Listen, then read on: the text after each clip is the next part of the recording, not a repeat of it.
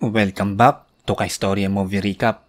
Samahan niyo akong panoorin ang zombie thriller movie na Remains na pinalabas noong 2011. Sit back, relax at enjoy this video. Magsisimula ang pelikula kay Tom na naglalakad papasok sa isang kasino. Kinuha niya ang inumin na dala ng waitress at ininom. Sa ibang parte ng kasino ay makikita ang magician at kasama nito na si Jensen na nasa backstage. Ipapakilala rin sa atin ang magandang waitress na si Tori na kinukuha ang mga order ng mga customer. Tatawagin siya ni Tom pero hindi niya ito papansinin. Sa TV screen ay binabalita na ang mga nuclear weapon ay hindi nagagamitin at sisirain na. Nilapitan ni Tori ang matandang naglalaro at inalok ng mainom pero hindi siya naririnig nito kaya nilakasan niya ang boses niya.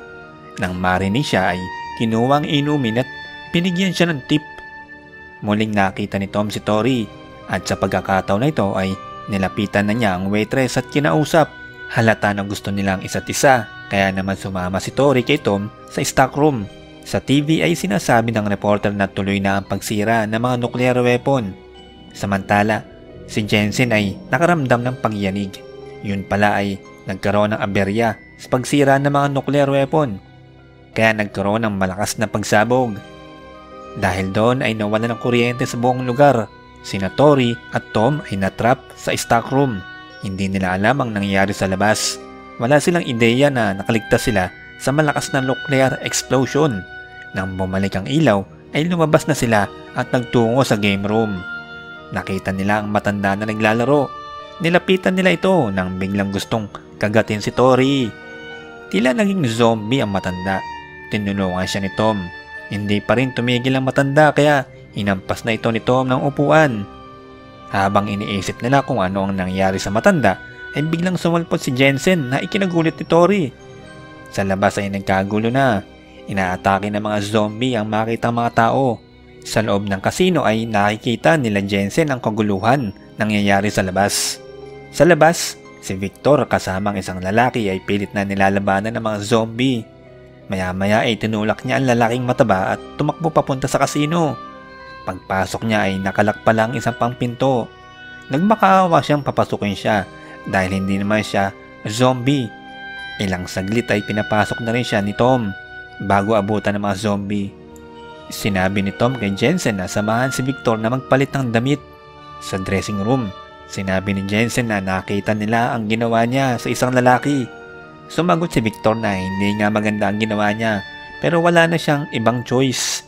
Sina Tom at Tori ay nag-ikot-ikot at napunta sila sa laundry room nang makita nila ang isang zombie na pinagtulungan nilang ilagay sa laundry machine. Nagpatuloy sila sa pag-check ng mga kwarto nang makarinig sila ng umiiyak. Sinundan nila ang tunog at nakita nila si Blake na trap kasama ang zombie. Takot na takot si Blake at hindi siya makagalaw. Sinabi ni Tom na dumaan siya sa gilid at pumunta sa kanila. Biglang nahulog si Blake at umatake ang zombie. May iba pang zombie na lumabas pero nakatakas sila at tumalo sa bintana at bumagsak sa pool. Hindi nila alam na may zombie pala sa ilalim ng pool kaya nahila si Tori. Mabilis naman siyang tinulungan ni Tom. Ilang araw ang lumipas at namalagi na lamang sila sa loob ng kasino. Isang araw ay may naisip na plano si Tom at binahagi niya ito kina Tori. Gusto niyang lumabas na ng kasino at pumunta sa ibang lugar. Hindi na impress si Tori at tumalis. Sinabi niya kung may mas maganda siyang ideya ay baka tumulong siya. Isang gabi habang nasa rooftop at umahanap ng signal ng walkie-talkie ay may nasagap siyang signal. Kaso nahulog ang walkie-talkie at hindi niya makuha dahil may zombie. May lalaking nagsalita sa radyo at tinatawag ang mga survivors. Sinabi nito na magbigay sila ng pagkain. Kinuwento niya kina Jensen ang narinig sa walkie-talkie at pumayag sila na magpunta sa lugar na iyon at baka sakaling makatakas sila. Sa gabi ay makikita na tulog o hindi gumagalaw ang mga zombie. Kinuha nila ang pagkakataon na ito na umalis ng kasino habang naiwan si Jensen sa loob. Malapit na sila sa projector nang ituro ni Jensen na may zombie sa likod nila. Nakarating sila sa projector at binuhay nga nila ito. Pero sa kasamang palad ay may tumugtog na kanta kaya naman nagising ang mga zombie at tinatake sila. Tumakbo sila sa bus at nagkahiwalay sila. Si Victor ay iniwan si Tori at nakatakbo sa kasino. Kinumpronta siya ni Jensen dahil iniwan niya ang dalawa. Sumagot si Victor na wala siyang magagawa dahil nasa panganib din ang kanyang buhay. Sa loob ng bus ay sinisisi nila ang palpak na plano. Hindi nila alam na may zombie pala sa loob. Biglang kinagat ang daliri ni Tom. Agad na binaril ni Tori ang zombie at tinaga ang nakagat na daliri ni Tom. May narinig silang sasakyan na dumating. Pinagbabaril nito ang mga zombie at mabilis na nagtakbuhan palayo. Chinek na mga lalaki kung hindi nga sila zombie. Isinama nila Tori ang mga lalaki sa loob ng kasino. Si Ramsey ang leader ng grupo.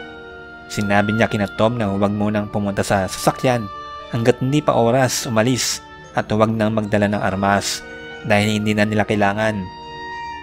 Ang grupo ni Ramsey ay naglibot sa loob ng hotel ng kasino at pinat